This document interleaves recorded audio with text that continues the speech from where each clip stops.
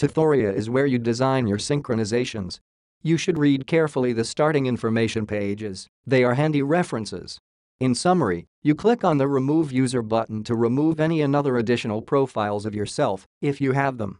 Then click on the synchronization description to select a description from the templates or write your own.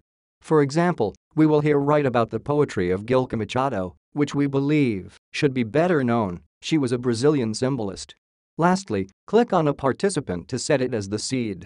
Click again to consolidate such participant as a seed and get the link of your friend's music to set forward.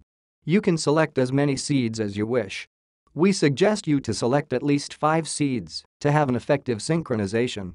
You may wish to have a specific participant as a seed.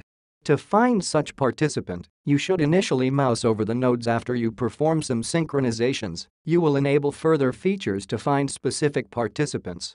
Finally, as with other pages in our aquarium, you can make audio-visual music in Tithorea, making art from a synchronization map. Enjoy and good luck.